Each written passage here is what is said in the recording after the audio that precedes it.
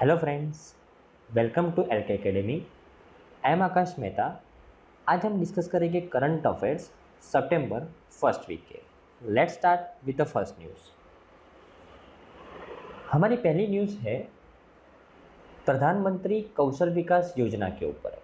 प्रधानमंत्री कौशल विकास योजना के ऊपर। अब ये प्रधानमंत्री कौशल विकास योजना क्या है, उसके बारे में समझते हैं।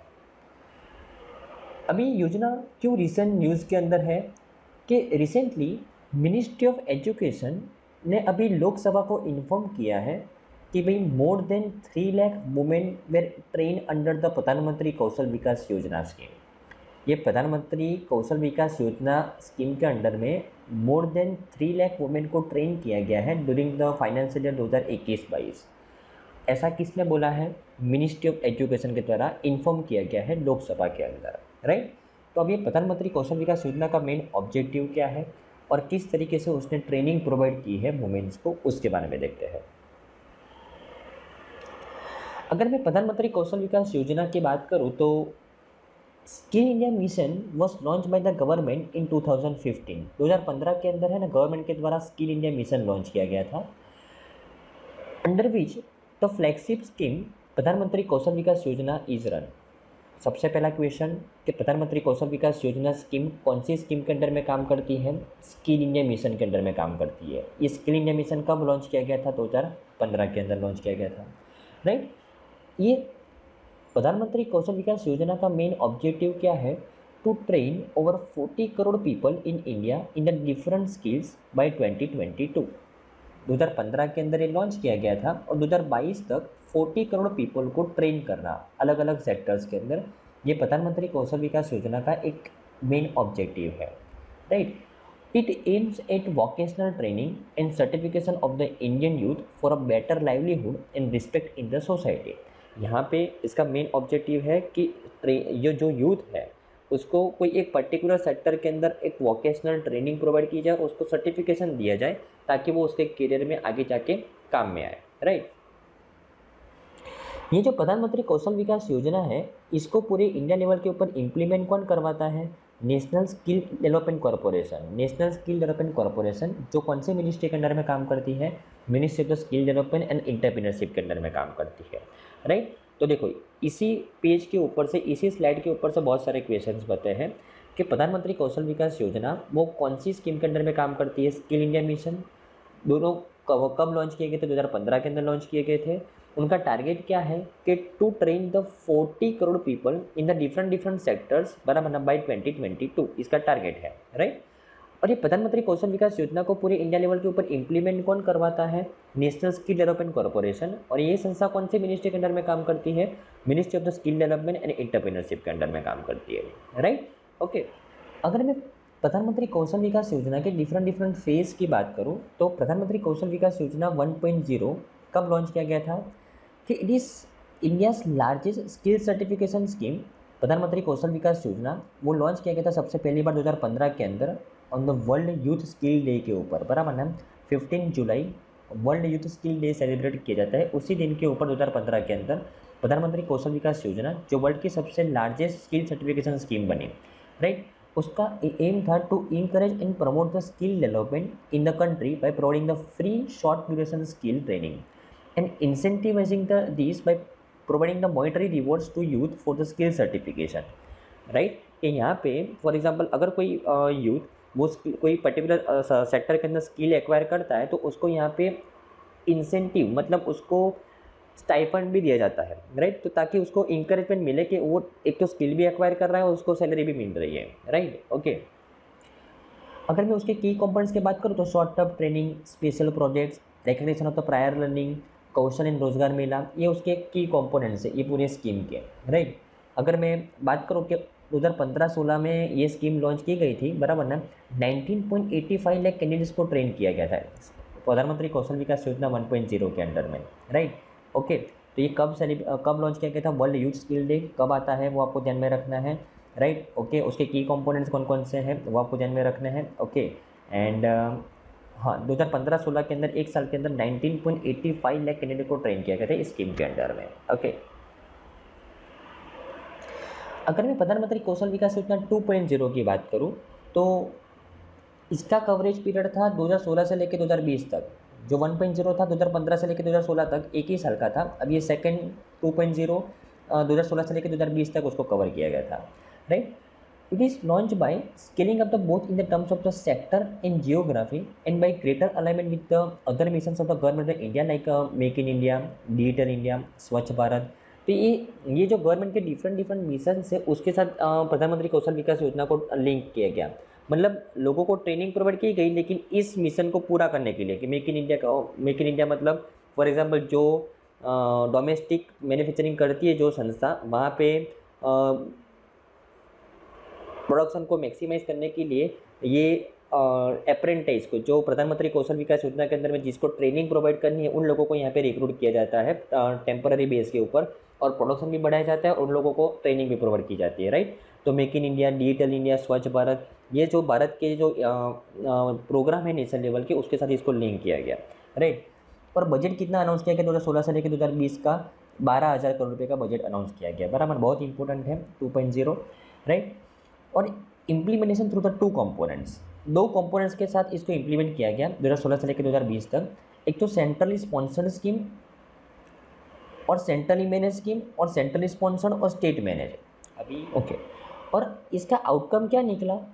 बारह हज़ार करोड़ रुपये का ये बजट के अंदर इसको अनाउंसमेंट किया गया कि भाई हम प्रधानमंत्री कौशल विकास योजना टू पॉइंट ज़ीरो के लिए दो हज़ार सोलह से लेकर दो हज़ार बीस तक कितना रुपया अलोकेट कर रहे हैं?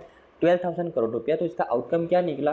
कि more than one point two crore youth have been train through an improve standard skilling ecosystem in the country under the Pradhanmantri Kaushal Vikas Yojana one point zero and two point zero one point zero के अंदर approximately twenty lakh था। और to point zero के बाद one point two crore people को यहाँ पे training provide की गई। बराबर मतलब उनको परमानेंट नहीं, लेकिन टेम्पररी बेस के ऊपर इंप्लॉयमेंट मिली। उन, उनके अंदर स्किल एक्वायरमेंट हुआ। राइट ओके नाउ प्रधानमंत्री कौशल विकास योजना थ्री पॉइंट ज़ीरो की अगर बात करूँ, उसका थर्ड फ़ेज़ जो लॉन्च किया गया सात सौ सत्रह डिस्ट्रिक्ट के अंदर ट्वेंटी एट स्टेट्स और एट यूनियन टेरिटरीज के अंदर लॉन्च किया गया। राइट और यहाँ पे थोड़ा सा आत्मनिर्भर भारत के ऊपर फोकस किया गया। राइट अगर मैं उसके इम्प्लीमेंटेशन की बात करूँ तो it will be implemented in the more decentralize structure with the greater responsibilities and support from the state और union territories and the district देखो नॉर्मली जो one one point zero two point zero के अंदर है ना वो centre के द्वारा ज़्यादा फोकस किया गया था इस स्कीम को इम्प्लीमेंट करने के लिए। लेकिन थ्री पॉइंट ज़ीरो के अंदर स्टेट्स और डिस्ट्रिक्ट को ज़्यादा फोकस करना पड़ेगा सेंटर कम सपोर्ट करेगा यहाँ पे। बराबर मतलब ये डिसेंट्रलाइज वे में उसको इम्प्लीमेंट किया जाएगा राइट यहाँ में district skill committees under the guidance of the state skill development mission बराबर shall play a key role in addressing the skill gap and assessing the demand at the district level अभी देखो one point zero two point zero के अंदर क्या किया जाता था? For example make in India make in India ये central government का स्कीम है। 2015 के अंदर लॉन्च 2014 के अंदर उसको लॉन्च किया गया था। अब ये मेक इन इंडिया के अंदर जितनी भी कंपनीज़ को सिलेक्ट किया गया है उसी कंपनीज़ के अंदर ये आ, जो प्रधानमंत्री कौशल विकास योजना के अंदर में जो अप्लाई करते हैं वो उसी कंपनीज़ के अंदर उनको ट्रेनिंग प्रोवाइड की जाती थी। बराबर मतलब सेंट्रल लेवल के ऊपर ज़्यादा फोकस किया जाता था सिंपल बराबर सेंट्रल गवर्नमेंट उसके ऊपर ज़्यादा फोकस कर रही थी। लेकिन प्रधानमंत्री कौशल विकास योजना थ्री पॉइंट ज़ीरो के अंदर क्या हो रहा है कि फॉर एग्ज़ाम्पल कोई डिस्ट्रिक्ट के अंदर कोई प्रोजेक्ट चल रहा है एक एक कोई स्टेट के अंदर या तो फिर डिस्ट्रिक्ट के अंदर कोई प्रोजेक्ट चल रहा है, बराबर ना? और यहाँ पे मेन पावर की रिक्वायरमेंट है राइट तो ये मेन पावर की रिक्वायरमेंट के लिए ये प्रधानमंत्री कौशल विकास योजना के अंडर में उन लोगों को सिलेक्ट किया जाएगा, उन लोगों को ट्रेनिंग प्रोवाइड की जाएगी और उन लोगों को जॉब पे रखा जाएगा राइट और इसके लिए ट्रेनिंग कौन प्रोवाइड करेगा? तो क्या डिस्ट्रिक्ट स्किल कमेटी राइट ये ट्रेनिंग प्रोवाइड करेगी। तो ये डिस्ट्रिक्ट लेवल के ऊपर अभी मतलब उसको डिसेंट्रलाइज किया गया है सिंपल ओके परफेक्टली बराबर ना? अगर मैं इसके फीचर के बारे में बात करूँ तो क्या वो it supports training of the eight lakh candidates over a scheme period of the दो हज़ार बीस इक्कीस with an outlay of the nine forty eight point ninety crore okay कि उसने आठ लाख कैंडिडेट्स को अभी तक दो हज़ार बीस इक्कीस तक ट्रेनिंग प्रोवाइड कर दी है इस स्कीम के द्वारा। It be more training and learner centric बराबर ना? ये जो कौशल विकास योजना थ्री पॉइंट ज़ीरो है ना, वो more training and learner centric होगा। The focus is on um, bridging the demand supply gap by promoting the skill development in the area of the new age in the industry 4.0 job roles. अभी जो focus किया जाएगा जो जो skill provide की जाएगी वो कहाँ पे प्रोवाइड की जाएगी इंडस्ट्री 4.0 मतलब मशीन लर्निंग आर्टिफिशियल इंटेलिजेंस वगैरह सेक्टर के अंदर वह ट्रेनिंग प्रोवाइड की जाएगी right okay It will be a propagator of the vocational education at any entry level for the youth to capitalize on the industry link opportunities. बराबर ना? कि for example कोई एक पर्टिकुलर पर्सन है कि जो जॉब कर रहा है राइट और बीच बीच में उसको लगता है कि भाई मुझे ये काम करना है तो उसके लिए मुझे स्किल एक्वायरमेंट की ज़रूरत है तो ऐसा ज़रूरी नहीं कि वो फ्रेशर लेवल पे ही स्किल एक्वायर कर सकता है। वो कोई भी लेवल के ऊपर वो स्किल एक्वायर कर सकता है right okay By taking the bottom-up approach to the training, it will be identify the job roles that have demand at the local level and skill the youth, linking them to those opportunities, right? मतलब यहाँ पे vocal for local के ऊपर ज़्यादा focus किया गया है मतलब जो चीज़ हम डोमेस्टिकली प्रोड्यूस कर रहे हैं उसी में लोगों को स्किल देने की बात चल रही है बराबर ना थ्री पॉइंट ज़ीरो के अंदर ओके okay. हमारी नेक्स्ट न्यूज़ है फ्रेंड्स कि जी ट्वेंटी एजुकेशन मिनिस्टर्स की भी मीटिंग हुई थी। अब ये आपको पता ही होगा जी ट्वेंटी एक ग्रुप का नाम है राइट जिसमें नाइनटीन कंट्रीज़ मेंबर्स है और एक यूरोपियन यूनियन मेंबर है राइट टोटल ट्वेंटी कंट्रीज़ का एक ग्रुप है जी ट्वेंटी उनमें अभी एजुकेशन मिनिस्टर्स की मीटिंग हुई थी तो इसके लिए वो रिसेंट न्यूज़ के अंदर है राइट कि रिसेंटली हमारे जो मिनिस्टर ऑफ़ एजुकेशन है, उन्होंने एड्रेस किया था G twenty education ministers meeting और ये कहाँ पे हुई थी? बाली, इंडोनेशिया के अंदर। अभी क्योंकि जी ट्वेंटी की जो 2022 की प्रेसिडेंसी है ना, वो इंडोनेशिया के पास है राइट तो इसके लिए ये जो मीटिंग हुई थी ना, वो बाली, इंडोनेशिया के अंदर हुई थी राइट और उसको एड्रेस किसने किया था? तो हमारे जो मिनिस्टर ऑफ़ एजुकेशन है, कौन है? धर्मेंद्र प्रधान। धर्मेंद्र प्रधान ने जी ट्वेंटी की एजुकेशन मिनिस्टर्स की मीटिंग को एड्रेस किया था। मिनिस्टर ऑफ़ एजुकेशन कौन है? धर्मेंद्र प्रधान। धर्मेंद्र प्रधान। राइट? तो उन्होंने इस मीटिंग को एड्रेस किया था, बाली, इंडोनेशिया के अंदर। इस मीटिंग की थीम क्या रखी गई?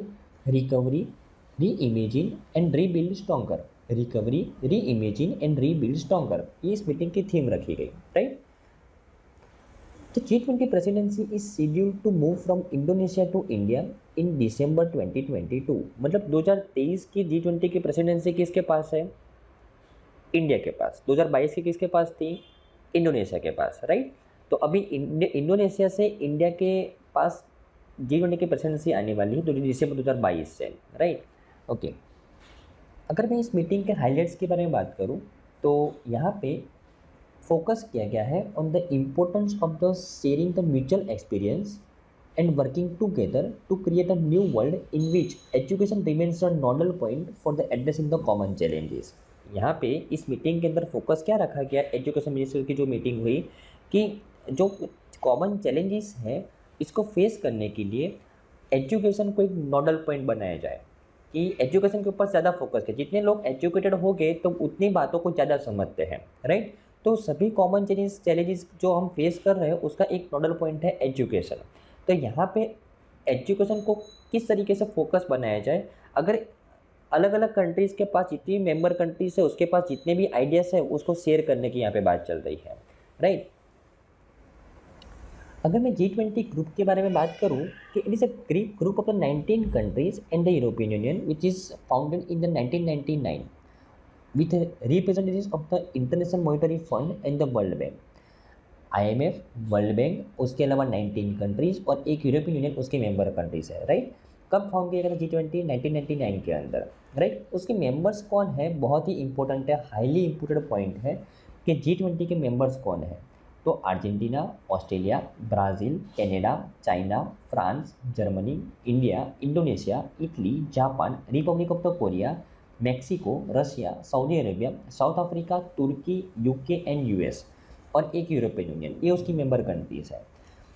नाइजीरिया ने अप्लाई किया था जी ट्वेंटी के मेंबर बनने के लिए लेकिन आ, उसको नहीं बनाया गया है राइट तो Nigeria was the meant to be the twenty member and was drop at the last minute due to the political troubles at that time Nigeria ने अप्लाई किया था दो हज़ार बीस इक्कीस के अंदर लेकिन उसको फिर मेंबर नहीं बनाया गया है राइट तो ये आपके लिए इंपॉर्टेंट है कि नाइजीरिया ने अप्लाई किया था फिर भी आ, वो नहीं बनाया गया है एच राइट अगर मैं जी ट्वेंटी के मेंबर स्टेट्स की बात करूँ तो जी ट्वेंटी के जो मेंबर्स हैं वो रिप्रेजेंट कर रहे हैं more than eighty percent of the world GDP 75 percent of the international trade and 60 percent of the world population right तो इतना स्ट्रेंथी ग्रुप है जी ट्वेंटी ओके अगर मैं जी ट्वेंटी के फंक्शनिंग की बात करूँ तो G twenty has no fix headquarter उसका कोई फिक्स हेड क्वार्टर नहीं है. वैसे हर एक ग्रुप का एक फिक्स हेड क्वार्टर होता है. फॉर एग्जांपल एस का है बीजिंग के अंदर, लेकिन जी ट्वेंटी का ऐसा कोई भी फिक्स हेड क्वार्टर नहीं है राइट उसके अलावा जी ट्वेंटी के टोटल ट्वेंटी कंट्रीज़ को पाँच अलग अलग ग्रुप के अंदर डिवाइड किया गया। और इंडिया कौन से ग्रुप के अंदर है? ग्रुप नंबर टू के अंदर अलोंग विद द इंडिया के ग्रुप में कौन कौन है? रसिया साउथ अफ्रीका एंड तुर्की है। इंपॉर्टेंट है कि जी ट्वेंटी के अंदर पाँच ग्रुप्स है, हर एक ग्रुप के अंदर चार चार कंट्रीज़ और इंडिया के ग्रुप के अंदर रसिया साउथ अफ्रीका और तुर्की है। राइट जी ट्वेंटी के अंदर दो डिफरेंट कॉन्सेप्ट है शेरपा और त्रोइका मीटिंग्स अभी देखो फॉर एग्ज़ाम्पल अगर मैं ब्रिक्स की बात करूँ अगर मैं एग्जांपल लूँ ब्रिक्स का। फॉर एग्ज़ाम्पल एक ब्रिक्स का एग्ज़ाम्पल लेता हूँ, जिसमें पाँच मेंबर कंट्री है, ब्राज़ील, रसिया, इंडिया, चाइना और साउथ अफ्रीका। और 2022 की प्रेसिडेंसी है ना चाइना के पास है राइट तो यहाँ पे क्या होगा कि चाइना के अंदर फॉर एग्ज़ाम्पल मीटिंग होने वाली है इस बार, बराबर ना? तो यहाँ पे चाइना के अंदर एक सेक्रेटरीट होगा ब्रिक्स का, जिस तरीके से इंडिया के अंदर सेक्रेटरीट है ना, सुषमा स्वराज भवन में है। तो यहाँ पे अगर फॉर एग्जांपल इंडिया के अंदर प्रेसिडेंसी होगी ना, जब भी ब्रिक्स की तो ब्राज़ील, रसिया, चाइना और साउथ अफ्रीका, ये चारों कंट्रीज़ के से चारों कंट्रीज़ में से अलग अलग रिप्रेजेंटेटिव्स आके ये सेक्रेटरीट के अंदर मीटिंग करते हैं। फिर वो लोग आपसी सहमति से कुछ डिसीज़न लेते हैं। और अपना ये डिसीज़न फिर हेड ऑफ़ द गवर्नमेंट को फॉर एग्ज़ाम्पल इंडिया के हेड ऑफ़ द गवर्नमेंट कौन है? पीएम मोदी। फिर वो उनको रिकमेंड करते हैं, फिर ये जाके अप्रूव करते हैं। ऐसा होता है मेकेनिज़्म लेकिन जी ट्वेंटी के अंदर ये सब काम कौन करता है? जी ट्वेंटी के अंदर ये ये सब काम करता है शेरपा। ये सब काम कौन करता है? शेरपा। यहाँ पे उसको एक अलग सा नाम दिया गया है राइट तो ये शेरपास वो पॉलिसी को फ्रेम करते हैं और फिर उनको रिकमेंड करेंगे वो पीएम को और पीएम फिर जाके अप्रूव करते हैं। सिंपल तो अभी रिसेंटली जी ट्वेंटी के नए शेरपा कौन बनाए गए हैं? पहले पीयूष गोयल थे, अभी नए शेरपा बनाए गए हैं अमिताभ कान अमिताभ कान जो पहले नीति आयोग के सी सी थे, बराबर, इनको अभी जी ट्वेंटी का शेरपा बनाए गए इंडिया की तरफ़ से। उसके अलावा जी ट्वेंटी के अंदर एक कॉन्सेप्ट होता है त्रोइका मीटिंग्स का। भाई त्रोइका मीटिंग्स के अंदर कौन पार्टिसिपेट करता है कि फॉर एग्जांपल 2020 के अंदर जी ट्वेंटी की प्रेसिडेंसी थी इटली के पास इटली के पास 2020 के अंदर। 2021 के अंदर जी ट्वेंटी की प्रेसिडेंसी है 2021 के अंदर सॉरी 2021 के अंदर इटली के पास थी 2022 के अंदर इंडोनेशिया के पास है, बराबर इंडोनेशिया के पास। बराबर ना? और दो हज़ार तेईस के अंदर किसके पास होगी मीटिंग प्रेसिडेंसी होगी दो हज़ार तेईस के अंदर इंडिया के पास। इंडिया के पास। बराबर ना? तो ये दो हज़ार बीस, दो हज़ार इक्कीस सॉरी दो हज़ार इक्कीस, बाईस और तेईस मतलब दो हज़ार बाईस मतलब अभी जो रिसेंट ईयर चल रहा है वो, उसके पहले जिसके पास प्रेसिडेंसी थी वो, और इसके बाद जिसके पास प्रेसिडेंसी आने वाली है वो। तो ये तीन कंट्रीज़ साथ में मिलकर त्रोइका मीटिंग्स के अंदर बैठते हैं जी ट्वेंटी के अंदर।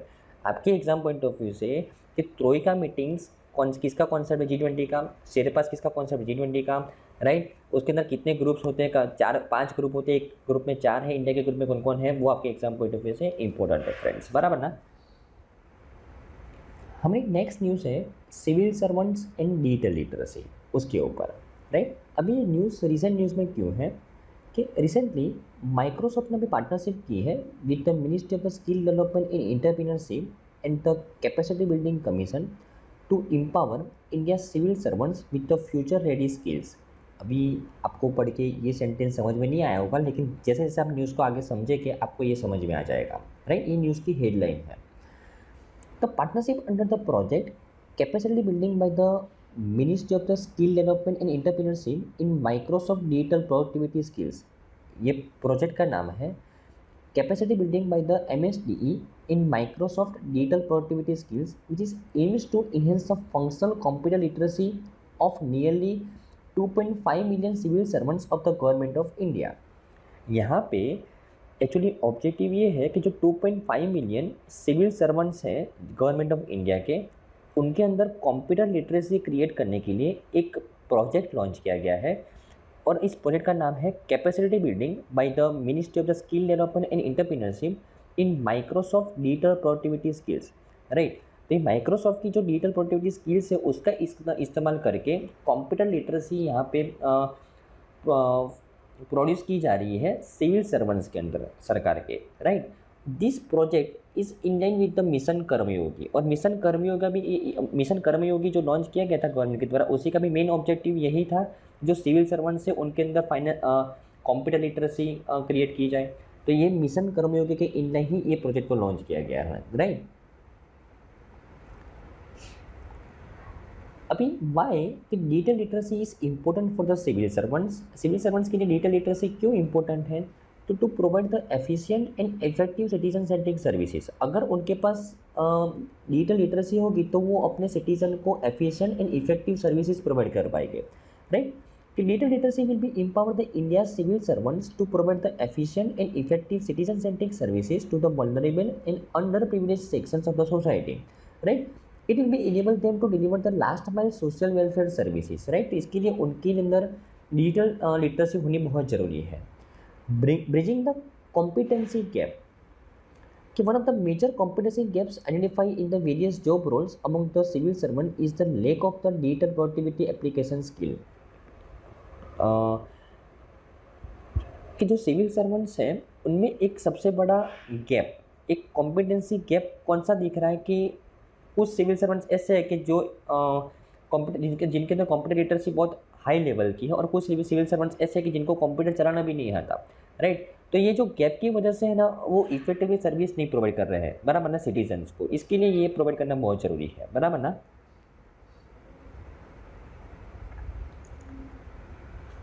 कि what competencies will the civil servants of the future need कि जो सिविल सर्वेंट्स अभी जो फ्यूचर में बने, कि उनके अंदर कौन कौन सी कॉम्पिटेंसीज चाहिए?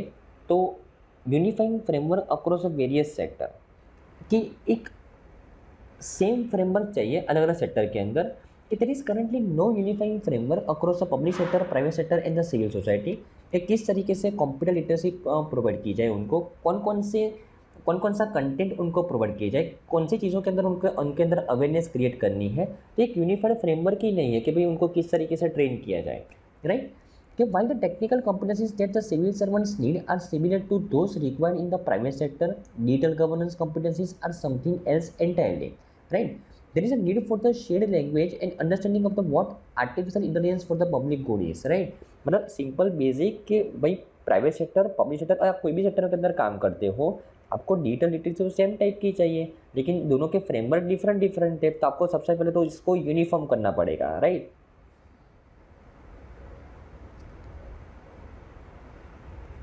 दूसरा skilling of the digital solutions कि public services face the difficulties in skilling of the digital solutions due to the infrastructure gaps right कि उनको हम डिजिटल लिटरेसी कब प्रोवाइड करेंगे? जब उनके पास कंप्यूटर होगा तब ना तो इंफ्रास्ट्रक्चर गैप है पब्लिक सेक्टर के पास कम कंप्यूटर्स है प्राइवेट सेक्टर के पास ज़्यादा कंप्यूटर्स है तो उन लोगों को ज़्यादा स्किलिंग प्रोवाइड की जाती है और पब्लिक सेक्टर के एम्प्लॉय को कम स्किलिंग प्रोवाइड की जाती है राइट तो ये स्किलिंग सबसे पहले तो हमको करना पड़ेगा कि डिजिटल सॉल्यूशन हमको पहले तो इंफ्रास्ट्रक्चर खड़ा करना पड़ेगा राइट और bridging the cooperation gap the government should never be viewed as a singular entity but rather be encourage to communities with the one another additionally the need is to engage the existing institution and foster the collaboration instead of the reinventing the wheel right कि मतलब for example जिस संस्था के पास for uh, example uh, अगर मैं बात करूँ कि uh, एक ऐसी संस्था कि जिसके पास कोई भी कंप्यूटर वगैरह नहीं है और एक ऐसी संस्था जिसके पास सब कुछ फैसिलिटी है तो ऐसा ज़रूरी नहीं है कि भाई ये संस्था के अंदर आप कंप्यूटर ला के उनको फिर ट्रेनिंग करिए, ऐसा नहीं है। आप उस संस्था के पास कि जिसके पास सब कुछ फैसिलिटी है, वहाँ उसके साथ पार्टनरशिप करके आप अपने एम्प्लॉय को वहाँ पर ट्रेनिंग प्रोवाइड करवा सकते हो राइट ओके तो ये कोऑपरेशन गैप जो कोऑपरेशन अगर ये कोऑपरेशन गैप जब कब तक खत्म हो जाएगा ना तो सबको इजीली ट्रेनिंग प्रोवाइड कर पाएँगे हम इफ़ेक्टिव पोस्ट के अंदर। ओके फ्रेंड्स तो ये स्कीम थी एक्चुअली ओके हमारी नेक्स्ट न्यूज़ है कि India become the world fifth largest economy India अभी वर्ल्ड की पाँचवीं लार्जेस्ट इकोनॉमी बनी, उसके बारे में डिस्कशन करते हैं। कि recently India become the world fifth largest economy by overtaking the UK UK को उसने ओवरटेक किया, जिसने हमारे पास, हमारे पर 200 साल राज किया, उसको हमने ओवरटेक करके हम दुनिया की फिफ्थ लार्जेस्ट इकोनॉमी बने हैं। Now the US China Japan and Germany ये चार ही कंट्री हमारे से आगे है in the terms of economy now US China Japan and Germany are the only nations with the economies larger than India's economy right The real GDP growth of 6.5% in the world, full of the uncertainty, is a new normal and India is set to be the third largest economy by 2029. देखो friends हम world के fifth largest economy बन गए हैं UK को हमने पीछे छोड़ा है और अभी हमारे से आगे कौन है? यूएस चाइना जापान और जर्मनी और ऐसा माना जा रहा है कि हम थर्ड लार्जेस्ट इकोनॉमी बन जाएगी ट्वेंटी ट्वेंटी नाइन तक। मतलब यूएस चाइना के बाद इंडिया का नंबर आएगा। हम जापान और जर्मनी को पीछे छोड़ देंगे। Right the Indian economy is forecast to be the fifth larger than UK by दो हज़ार सत्ताईस ऐसा माना जाता था कि भाई इंडिया की इकोनॉमी है ना, वो यूके को कब सरपास करेगी? 2027 के अंदर। लेकिन हमने टाइम से पहले उनको सरपास कर दिया है। राइट तो what are the key highlights of this achievement इस अचीवमेंट के हाईलाइट्स क्या है? तो moving pass one of the biggest economy in the world specially one that rule over the Indian subcontinent for the two century is a major milestone बराबर ना? और अगर मैं साइज़ ऑफ़ द इकोनॉमी की बात करूँ तो size of the Indian economy in the nominal cash term in the quarter through March two twenty twenty two was at fifty four point seven billion dollar while the UK was at sixteen billion dollar बराबर ना कि India की जो economy है, उसकी size अगर मैं मार्च दो हज़ार बाईस तक की बात करूँ तो at fifty four point seven billion dollar और यूके की साइज़ कितनी थी? एट सिक्सटीन बिलियन डॉलर बराबर ना? In the nominal cash form के अंदर. बराबर ना कि कितना कैश मार्केट के अंदर घूम रहा है, उसकी अगर हम बात करें तो। राइट तो हमने यूके को सरपास कर लिया है स्पेशली एक ऐसी कंट्री जिसने हमें, हमारे पर 200 साल राज किया है. ओके लेकिन अगर हम कंपेरिजन करें विद द यूके तो हमारी जो पॉपुलेशन साइज़ है, कि as of 2022 India has a population of the 1.41 billion while the UK's population is 68.5 million right हमारी पॉपुलेशन यूके से कितनी ज़्यादा है?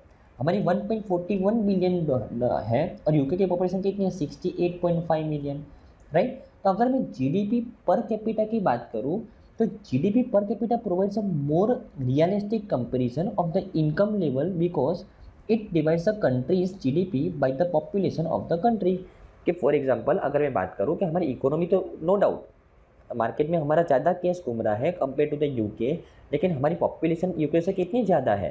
तो अगर हम उस कैश को, अगर हम उस जीडीपी को हमारी पॉपुलेशन से डिवाइड करें तो जीडीपी पर कैपिटा हमको मिलता है।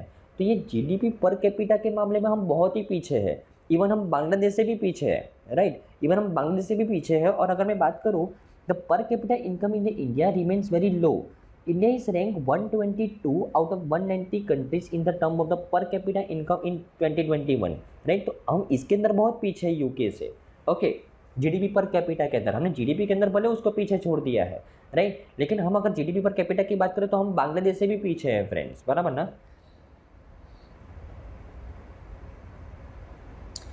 The low per capita income offer point to the high level of the poverty right कि at the start of the 19th century, the UK's share in the extreme poverty was considerably higher than the India's, right?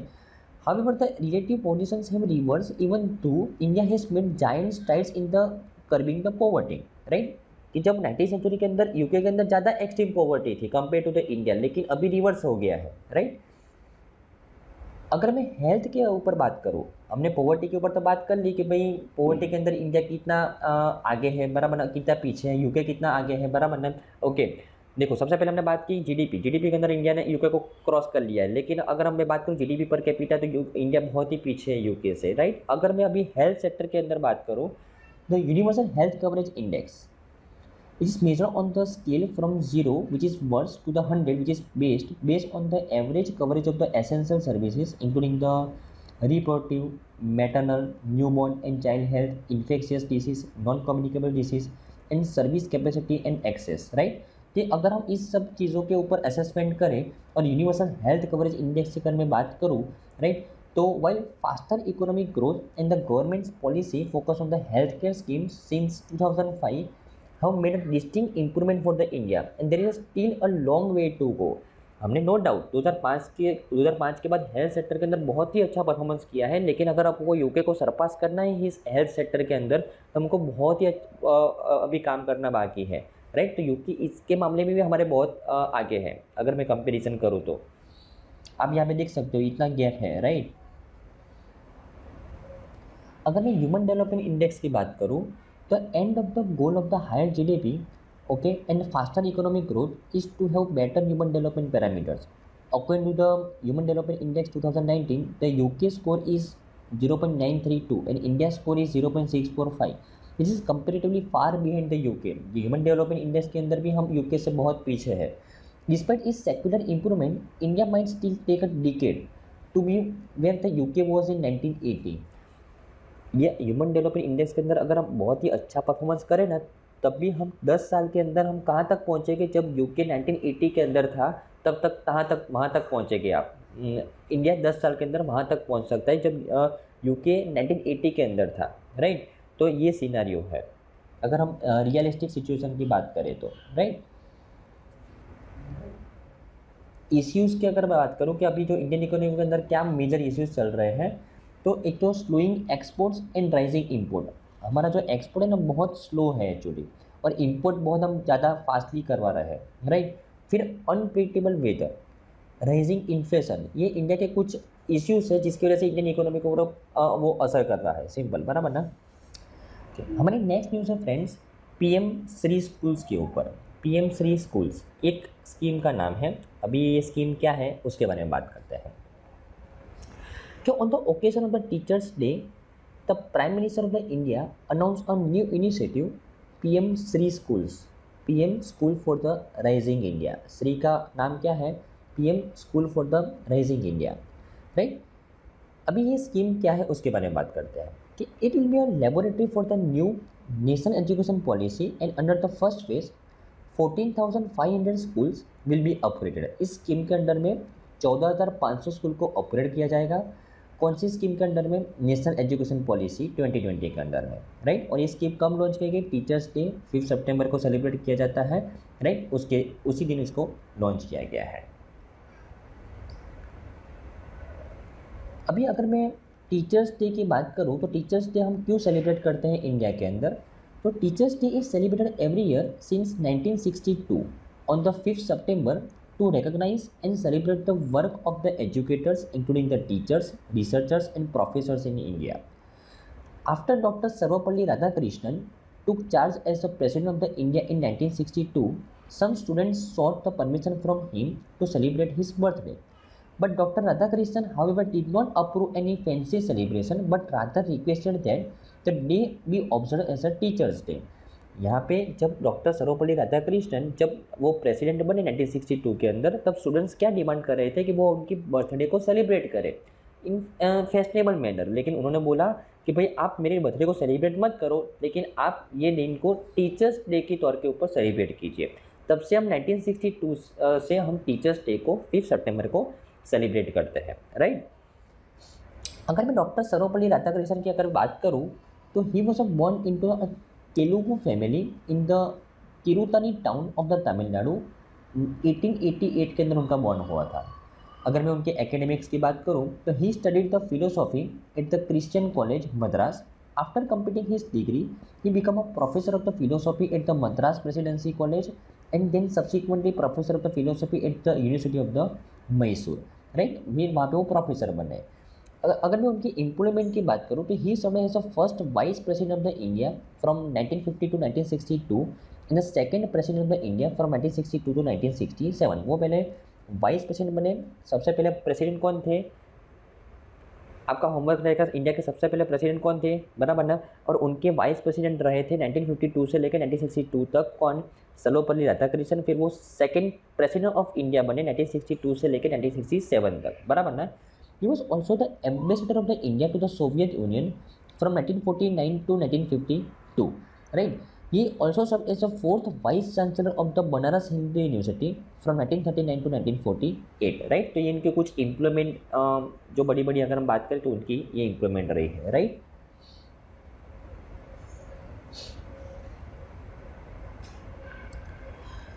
अगर उनके काम के बारे में बात करें तो इनको 1984 के अंदर उनको पोस्टिमेसली आफ्टर द डेथ उनको भारत रत्न अवार्ड दिया गया राइट और नेशनल टीचर्स डे के ऊपर नेशनल टीचर्स अवार्ड्स भी दिए जाते हैं, बराबर ना? तो on the occasion of the teachers day the president of the India confer the national teachers awards to forty five exceptional teachers from across the India today right मतलब forty five exceptional teachers को यहाँ पे awards दिए जाते हैं national teachers awards on the occasion of the fifth September right okay उस उस award के अंदर तो कोविटर prize was award to the teachers from the various states including the Telangana Maharashtra Haryana Himachal Pradesh and Punjab right और every year on the teachers day the ministry of education organise एक national level function to confer the national awards to the teachers to the best teachers in the country right और every winner of the national teachers award is on with the certificate of the merit cash reward of the rupees fifty thousand and a silver medal right उनको ये award दिया जाता है right national awards to the teachers 2022 seek to the celebrate the unique and major contribution of the teachers in the nation building of the India right okay okay, तो जो भी teacher ने बहुत ही अच्छा काम किया है उनको इस दिन के ऊपर अवार्ड दिया जाता है राइट और फिफ्टी थाउज़ेंड की कैश प्राइस बहुत इंपॉर्टेंट है ओके okay? अभी हम पीएम श्री योजना की अगर मैं बात करूँ तो पीएम श्री योजना क्या है कि it is a centrally sponsored scheme मैंने आपको पहले भी बताया था फ्रेंड्स कि there are two types of the scheme एक तो सेंट्रली स्पॉन्सर्ड होती है और सेंट्रल सेक्टर स्कीम होती है. सेंट्रली स्पॉन्सर्ड और सेंट्रल सेक्टर स्कीम दो टाइप की स्कीम होती है. बराबर ना? तो सेंट्रल स्पॉन्सर स्कीम के अंदर क्या होता है कि भाई सेंट्रल गवर्नमेंट कुछ पैसा प्रोवाइड करती है और स्टेट गवर्नमेंट कुछ पैसा प्रोवाइड करती है। और सेंट्रल सेक्टर स्कीम के अंदर पूरा पैसा कौन प्रोवाइड करती है? सेंट्रल गवर्नमेंट ये पीएम श्री योजना है, वो सेंट्रली स्पॉन्सर्ड स्कीम है right for upgradation and development of the more than fourteen thousand five hundred schools across the country ये इतनी जो गवर्नमेंट स्कूल है, चौदह हज़ार पाँच सौ स्कूल्स को अपग्रेड करना है, उसका डेवलपमेंट करना है इस स्कीम के अंडर में। It aims at strengthening the selected existing schools from the among the schools managed by the central government, state और union territory government और local bodies. उसका मेन ऑब्जेक्टिव क्या है कि भाई चौदह हज़ार पाँच सौ स्कूल जो हम सिलेक्ट करेंगे उसको अपग्रेड करेंगे फिर उसको एक मॉडल बनाएँगे और ये मॉडल बाकी स्कूल को एज ए मेंटर के तरीके से काम करेगी समझ में आ रहा है फ्रेंड्स ओके okay? ये जो चौदह हज़ार पाँच सौ स्कूल्स हैं, वहाँ पे जो national education policy twenty twenty के जितने भी रूल्स एंड रेगुलेशन वहाँ पे इम्प्लीमेंट किए जाएँगे। और वो एक एक्ट करेंगे as a exemplar schools and also offer the mentorship to the other schools in their vicinity बराबर? वो अदर स्कूल्स के लिए एक मेंटरशिप के तौर के ऊपर काम करेगी। तो aim of the schools will not only be qualitative teaching learning and cognitive development but also creating the holistic and well rounded individuals which is equipped with the twenty first century skills मतलब ये school का develop करना, उसका एकमात्र उद्देश्य ऐसा नहीं कि स्टूडेंट्स को क्वालिटी एजुकेशन मिले। दूसरा उद्देश्य भी है कि स्टूडेंट्स जो बाहर निकले स्कूल में से, उनको ट्वेंटी फ़र्स्ट सेंचुरी की जो स्किल्स है machine learning artificial intelligence program coding उनके अंदर भी नॉलेज मिले राइट मतलब तो नेशनल एजुकेशन पॉलिसी ट्वेंटी के सारे रूल्स यहाँ पे इम्प्लीमेंट किए जाएँगे राइट हमारे नेक्स्ट न्यूज़ है इंडिया एंड स्टार्टअप दोनों के बीच में क्या रिलेशन है, उसके बारे में बात करते हैं। कि recently government of India stated that कि India ranks third globally in the startup ecosystem and also in the terms of the number of the unicorns number of the unicorns अभी यूनिकॉर्न क्या है और इंडिया कैसे third rank पे hold कर रहा है ग्लोबली उसके बारे में बात करते हैं। सबसे पहले बात करते हैं कि what is state of the startups in India तो India has become the third largest startup ecosystem in the world after the US and China सबसे ज़्यादा स्टार्टअप इकोसिस्टम यूएस के अंदर है सेकंड नंबर पे चाइना और थर्ड नंबर पे India India is home to as many as seventy five thousand startups forty nine percent of startups are from the tier two and tier three cities बराबर ना? तो मतलब ऐसा नहीं है कि भाई टायर वन सिटीज़ के अंदर ही सभी स्टार्टअप्स है. Forty nine percent of startups इस सेवेंटी फाइव थाउज़ेंड स्टार्टअप्स में से tier two and tier three cities में से है। There are currently 105 unicorns 75,000 startup में से 105 यूनिकॉर्न्स हैं out of which 44 were born in 2021 and 19 in 2022 total 105 unicorns हैं बराबर ना? और उसमें से 44 वेर बॉर्न इन 2021 एंड और 19 इन 2022 राइट और ये जो स्टार्टअप्स है ऐसा नहीं है कि भाई वो मैन्युफैक्चरिंग सेक्टर के अंदर ही आ, आ, अपना जलवा दिखा रहे हैं। ये startups are also emerging in the field like the IT agriculture aviation education energy health and space sector ये सभी सेक्टर के अंदर भी स्टार्टअप अच्छा परफॉर्म कर रहे हैं राइट अगर मैं ग्लोबल इनोवेशन इंडेक्स की बात करूँ तो India has been rank in its global ranking of the global innovation index from 81 in the year 2015 to 46 in 2021 among the 130 economies of the world कि ग्लोबल इनोवेशन इंडेक्स के अंदर India ने कितना अच्छा परफॉर्मेंस किया? 2015 के अंदर इंडिया का रैंक था eighty first out of 130 countries और अभी है फोर्टी सिक्स इन दो हज़ार इक्कीस के अंदर अगर मैं बात करूँ out of one thirty economies India has rank second among the thirty four lower middle income countries and first among the ten central and southern Asian economies in the terms of the global innovation index अगर मैं central और south Asia की अगर बात करूँ तो इसमें India का फ़र्स्ट नंबर है ग्लोबल इनोवेशन इंडेक्स के अंदर। अगर मैं लोअर मिडिल इनकम कंट्रीज़ की बात करूँ तो इंडिया का सेकंड नंबर है राइट ग्लोबल इनोवेशन इंडेक्स के अंदर, बराबर? अगर मैं पेटेंट्स पब्लिकेशंस उसके बारे में बात करूँ तो पब्लिकेशंस के अंदर इंडिया का रैंक है थर्ड जो पहले 2013 के अंदर सिक्स नंबर पे था, बराबर ना, अभी वो थर्ड नंबर पे आया है right based on the national science foundation database अगर मैं पेटेंट्स की बात करूँ तो इंडिया का रैंक ग्लोबल लेवल पे नाइन्थ है in the terms of the resident patent filing right और quality of the research publication की बात करो तो ग्लोबली इंडिया का रैंक नाइन्थ नंबर पे है, जो थर्टीन था 2013 के अंदर, बराबर ना? तो सभी जगह पे यहाँ पे इंडिया ने डेवलपमेंट दिखाया है ओके तो इंडिया ने ये स्टार्टअप्स इकोसिस्टम के अंदर इतना अच्छा परफॉर्मेंस किया है, उसका मेन रीज़न क्या है? What are the growth drivers and challenges for the startups सबसे पहला government support India is increase the gross expenditure on the R and D more than three times in the last few years बराबर ना? India is over five lakh R N D personnel the number that has seen forty two fifty percent increase in the last eight years in the last eight years women's participation in the extramural R and D has also double मतलब women को भी इतना यहाँ पे मौका दिया जा रहा है और इंडिया का जो आर एन डी के ऊपर जो खर्चा है, वो तीन गुना बढ़ गया है कुछ सालों के अंदर। राइट तो ये गवर्नमेंट सपोर्ट की वजह से ये पॉसिबल हुआ है। दूसरा adoption of the digital services the pandemic accelerated the adoption of the digital services by the consumers helping the startup and new age ventures with the tech focus businesses for the customer कि जितना हम adopt करेंगे digital services को इतना जो startups uh, और जो new age ventures है वो अपनी टेक फोकस बिजनेसेस के अंदर ऊपर ज़्यादा फोकस करते हैं राइट तो वो लोग ज़्यादा टेक टेक फोकस बिजनेसेस को ओपन करेंगे और यही स्टार्टअप फिर जा, आगे जाके यूनिकॉर्न बनती है राइट फिर online services and work from the home culture के many Indians move to the online services exploiting a host of the services ranging from the food delivery and H U tech to the e grocery अभी देखो कि ये जो startup ये जो food food delivery के अंदर लाइक जोमेटो स्विगी एजुटेक के अंदर लाइक अन अकेडमी राइट फिर ई ग्रोसरी के अंदर भी बहुत सारे आ गए हैं, बराबर है तो इन लोगों को बढ़ावा क्यों मिल रहा है? क्योंकि तो अभी वर्क फ्रॉम होम कल्चर है ऑनलाइन सर्विसेज़ है, अभी कोई बाहर जाके कुछ परचेस करना नहीं चाहता, क्योंकि सभी लोगों को घर पे बैठे ही सब कुछ मिल जाता है। इन लोगों को बढ़ावा मिल रहा है तो इन लोगों का बिज़नेस अच्छा चल रहा है तो लोग ज़्यादा से ज़्यादा ज़्यादा से ज़्यादा ये ये सब सेक्टर के अंदर अपना स्टार्टअप्स को एस्टेब्लिश कर रहे हैं right digital payment the growth of the digital payments is another expected aided the unicorn in the most बराबर ना? तो डिजिटल पेमेंट्स को भी आ, हम जितना डिजिटल पेमेंट्स के अंदर अच्छा काम करेंगे तो इतना कंपनीज़ को अच्छा प्रॉफिट होगा। राइट क्योंकि नॉर्मली अगर हम ऑफलाइन पेमेंट करते हैं तो इतना ज़्यादा मुनाफा नहीं होता। तो ये सब कुछ ग्रोथ ड्राइवर्स है कि जिन्होंने स्टार्टअप्स को यहाँ पे इंडिया आ, इंडिया के अंदर बहुत ही डेवलप किया है। ओके अगर हम कुछ चैलेंजेस की बात करें तो increasing investment do not ensure the success of the startup बराबर ना? The billions of the dollars being invested in the startup represent the large bets on the distant outcomes and do not value the generation by the way of the revenues कि ऐसा नहीं होता कि भाई startups है तो वो चली जाएगा। तो हम यहाँ पे बहुत सारे इन्वेस्टमेंट करते हैं, लेकिन कभी कभार स्टार्टअप नहीं चल पाती है। तो यहाँ पे डिस्करेजमेंट भी होता है कि लोगों को लगने लगता है कि भाई स्टार्टअप के अंदर हम ज़्यादा इन्वेस्टमेंट करेंगे तो वही हमारा पैसा आगे जाके डूब सकता है। बराबर? तो यहाँ पे इंडियन पब्लिक स्टार्टअप के अंदर इतना इन्वेस्टमेंट नहीं करती है।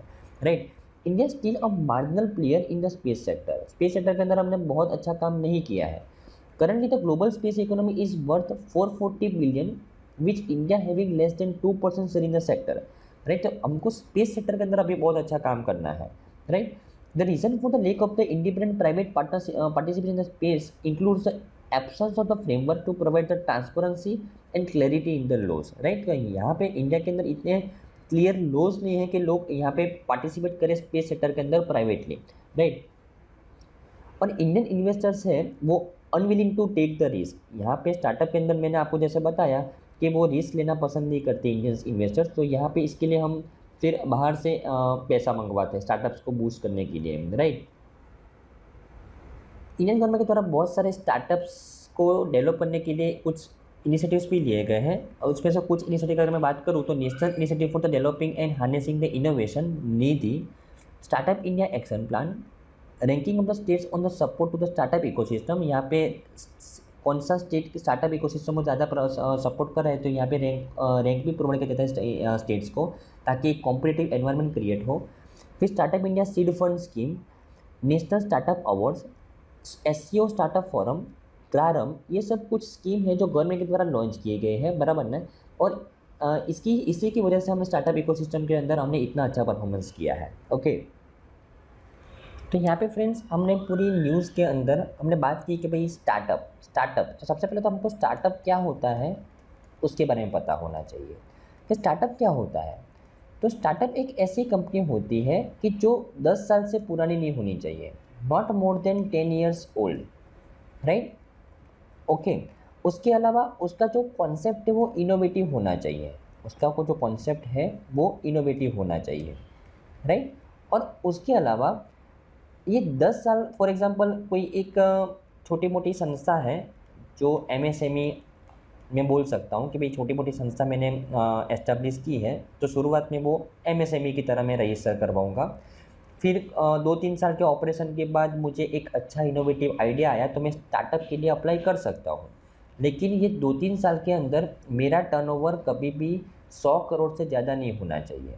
अगर वो सौ करोड़ से ज़्यादा होगा तो मैं स्टार्टअप के लिए अप्लाई नहीं कर सकता राइट और मैं फॉर एग्ज़ाम्पल मुझे मेरा ये आइडिया ग्यारहवें, बारहवें साल के ऊपर आया, तब भी मैं स्टार्टअप के लिए अप्लाई नहीं कर सकता राइट तो स्टार्टअप एक ऐसी संस्था जो दस साल से पुरानी नहीं होनी चाहिए। कॉन्सेप्ट इनोवेटिव होना चाहिए राइट और ये दस साल के अंदर आपका कभी भी टर्नओवर सौ करोड़ से ज़्यादा नहीं होना चाहिए। तो ये आप स्टार्टअप के लिए अप्लाई कर सकते हो राइट फिर उसके अंदर ये आता है यूनिकॉर्न अब ये यूनिकॉर्न क्या होता है कि जो भी स्टार्टअप जो भी स्टार्टअप जिसका टर्नओवर टर्नओवर एक बिलियन डॉलर से ज़्यादा हो जाता है टर्नओवर एक बिलियन डॉलर से ज़्यादा हो जाता है, वो यूनिकॉर्न बन जाता है। तो अभी आपने पढ़ा कि सेवेंटी फाइव थाउज़ेंड स्टार्टअप्स हैं इंडिया के अंदर, उसमें से यूनिकॉर्न कितनी है? एक सौ पाँच। मतलब ये 105 ऐसे स्टार्टअप्स है कि जिसका टर्नओवर है ना एक बिलियन डॉलर से ज़्यादा हो गया राइट तो ये यूनिकॉर्न कहलाई जाती है। तो आई थिंक आपको ये समझ में आया होगा राइट फ्रेंड्स ओके तो आई थिंक आपको आज के सभी न्यूज़ के अंदर अच्छे समझ में आया होगा friends thank you friends bye